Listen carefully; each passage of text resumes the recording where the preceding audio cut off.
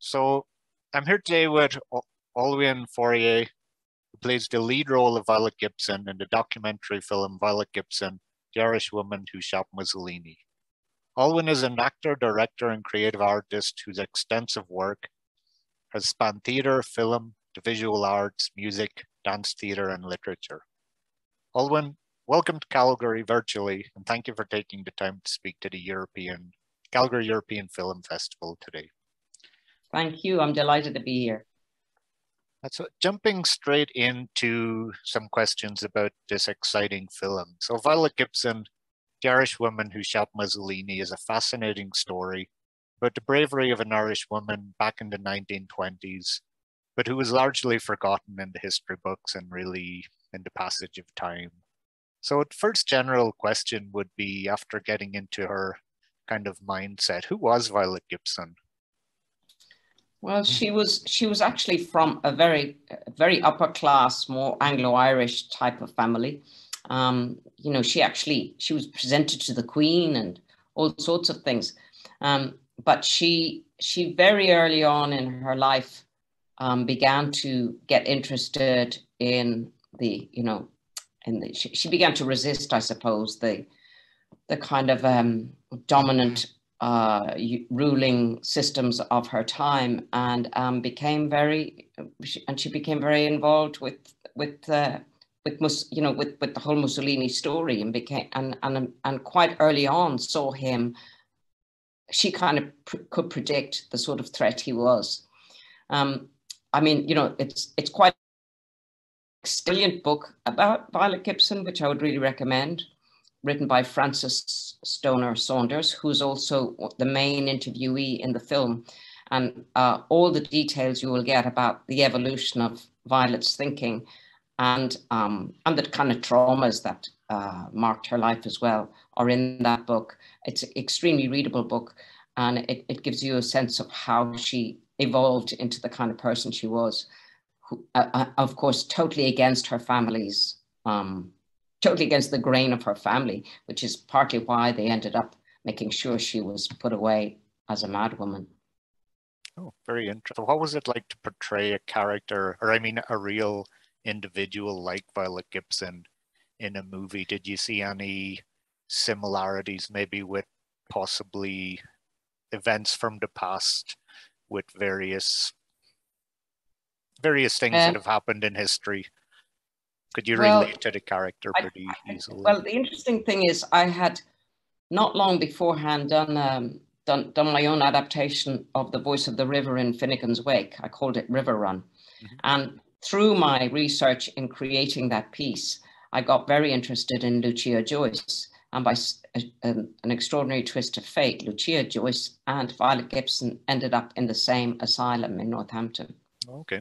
And would have probably met uh, and Lucia was an, a little bit similar to Violet, had a very, um, Lucia was a real visionary. I mean, as a dancer, she was an extraordinary dancer, um, but was constantly being moved around by the family and also dismissed a great deal. A lot of emphasis was on Giorgio, uh, her brother, um, because she was a young woman and all of that kind of stuff. And, and, um, and Lucia, similarly, um, I think, her rebellion against her lot and, uh, and the fact that she wasn't given the opportunity, in Lucia's case, the fact that she wasn't given the opportunity be, being branded as mentally unstable and um, she, she went through several different asylums and then ended up in Northampton where she died in the 80s. And, you know, James, your sound is from, cutting, from when, you, sorry, your okay. sound is cutting in and out a little really? bit. I wonder, I wonder, why. That's strange. Anyway, um, so Lucia and um, Violet. I mean, you can find out great lots about Lucia by another book, actually, a book called um, uh, "To Dance in the Wake" by Carol Loeb Shloss, which is a wonderful book about Lucia Joyce. Mm-hmm. Um, and the fact that both of these women, who were fiercely independent thinkers, ended up um, put in asylum by their families. Now, they may have been mentally unstable in the in the standards of the day, but only in the standards of the day. I think most you know, most of us would be considered mentally unstable as creators, you know. Yeah. Um, so um, I, I, by this great tragedy and this extraordinary twist of fate, they both ended up in the same asylum. So um, that was already a, point of interest to me, and also the fact that um, that that Violet so far in advance predicted that Mussolini was going to, you know, be be the beginning of a of a terrible wave of um, of of dictatorship in Europe and was you know was the prime example for Hitler as well. You know he was Hitler's mentor really, and um, and and so and and of course my parents lived through the Second World War as well. So there were a lot of connections really. Um, also, funnily enough, I had an aunt who was Italian, who was a great supporter of Mussolini's. Oh. and uh, and, and apparently my mother always told me that as soon as Mussolini, you know, started to be, be you know, be be pursued and and and before he was assassinated, before he was killed, uh, you know, she, she decided she better. She had she had cushions with Mussolini's face on them. she, turned the, she turned the cushions around. Yeah. That was probably anyway, pretty common back then. I mean, yeah, for a very charismatic man, even though a very evil man as well. So I mean, he was extraordinarily charismatic, you know, and and and the sort of propaganda, his propaganda was really powerful. So there were a lot of kind of a little bit connections through through my own, you know, my, own family's experiences, and um, and seeing this parallel between Lucia and Violet were very different, but yet there was a kind of a, a, a very recognizable parallel in in how they their voice was suppressed. Um, and and so one of the things for me when I was when I was working on Violet Gibson is that I was very I was very clear that I did not want to portray her as unstable or mad. Yes, uh, maybe um, obsessed, you know, and and uh, and relentless in what she wanted to do, and and she had a certain kind of she had a certain kind of religious fervor as well but I was very clear that um, we should show her for, and as the director was as well, that we should show her as a as a woman who made her decision. So it it does um, sound like she was more like a very passionate, very creative yeah. type of person, which I'm sure in 1920s Europe and Ireland, as you say, would have been seen in a, a different light, especially for a woman, I think, back then. Yeah, and particularly for a woman of her um, you know social standing. Uh, like her family wrote to Mussolini to apologize profusely for what happened, and and I mean, they, she was really, you know, she the, no nobody from her environment would have seen anything of what she did as being anything other than crazy.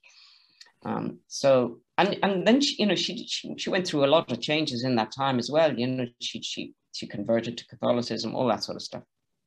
Okay. So um, so so yeah so so for me it was a, it was a journey of exploration as well you know to see what it would be like to um, pursue this this thread with her and how it came about yeah very interesting because you as a creative artist are often seen as someone right on the very cutting edge of passionate performance and creativity and probably some people would have branded you various things in the past just based on pushing those boundaries. So oh, yeah. there is definitely the the similarity I think in the between actor and the actual person, which I think will show in the movie and will is a powerful force then in the movie. I, I hope so. I mean, like for me, yeah, I would always say that my my interest in my, my interest as an artist is very much you know, uh, is pushing the boundaries of, of, of the accepted reality, you know, is to, is to kind of create an alternative reality. And, um, and, and I, I, I often describe it as, um, eh, you know, uh, an artist's life is, is it's, or, or making a work is, is a, an act of resistance against a prescribed reality.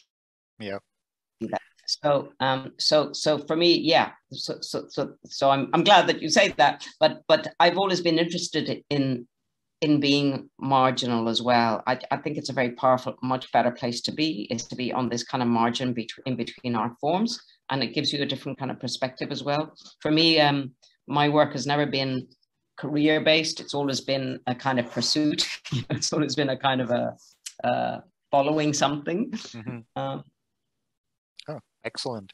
So, would you think it, it is important to for directors and writers to make these type of documentary films on individuals that have been more or less forgotten I think from Irish important. history? And then, well, there's been a big resurgence of interest in her.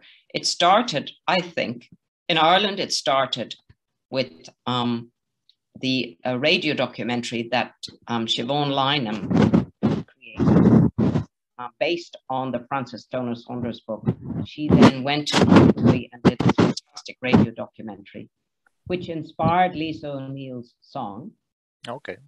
Um, and and also kind of set set Barry, who is Siobhan's partner, on the on the path towards making a, a, a, documentary film on it. So there's been a whole thread of influence that has followed on from from the initial from Frances Saunders' book um, and um, and Siobhan doing this radio documentary, which won a few awards and is a fascinating radio documentary. You can probably still get it on the RTE archive.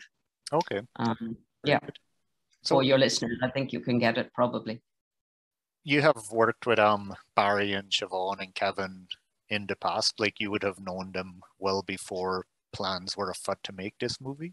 No, no, not really. I knew Barry a little bit. I did. I did something for it was a, a something related to asylum seekers. I did just a small thing for him quite a long time back, and also he produced a film which I was in uh, about Artaud's Antonin visit to Ireland which uh, a friend of mine, kind of a documentary film, which a friend of mine made, and I've also created a lot of, I created a, a big piece about Antonin Artaud's visit to Ireland. So that was where, um, so I contributed to that.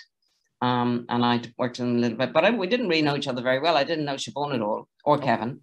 Um, so, but then out of the blue, uh, I got this email from Barry asking me, would I would I be will, would I be interested in in playing this role? And I got without even reading anything about her, I just got back straight away to say yes. okay, so you knew kind of in your core yeah. that it was something you wanted to. I just knew, yeah, yes, yes, of course, I'd be fascinated to do it. Yeah. Oh, excellent, and I guess that's a a good way for you, maybe, like if you're a freelance artist for three, four decades, has that been the general way you end up in interesting projects. You just get a feel for it and then you go go and jump yeah. in and do it. I always have to have a, a feeling in my gut about it. Mm-hmm. Or there has to be some kind of reason for me to want to do it. Um, there has to be a, a little hook, you know. But there, there was there was that was just straight away, you know, when he said the Irish woman who shot Mussolini, I said, "Oh, that's enough. That's enough for me." Sold. yeah, I'll definitely do it not yeah. knowing that much about her. And then I then I listened to the radio documentary and I read the book, and you know I was thinking I, I felt very fortunate actually to get an opportunity to do it. Oh, hold on a second. Yep. Sorry, no, no problem. Somebody coming in to try and fix the heating. Okay. Um, like, what were some of the highlights of working with like director and writer Barry and Kevin, and then the writer Siobhan throughout the course of the film? Could you pick any kind Hard of two or three highlights? Hard to say what the highlight. I, I can't think of any particular highlights. I mean, there were there were lots of lots of great memories. You know, um, I mean, it was interesting going to Rome to shoot because obviously we couldn't. It wasn't the kind of budget where you could stop the, you know, empty the street and all that kind of stuff. So they had to fiddle. They had to do a lot of stuff with green screen and things like that. But we did we did shoot in Rome a bit. Um, it was it was quite it was quite something going to the convent where she'd stayed. That was quite something in Rome. And um, and just uh, I think it was also the, the fact that it was a very small shoot.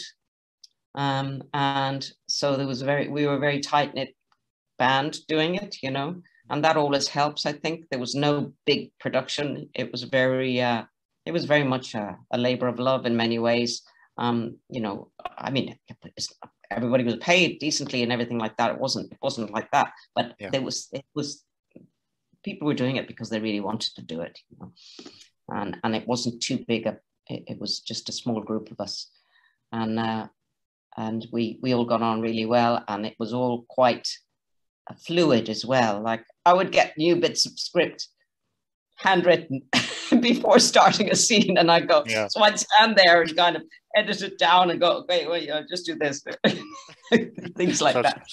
A little bit off the cuff sometimes.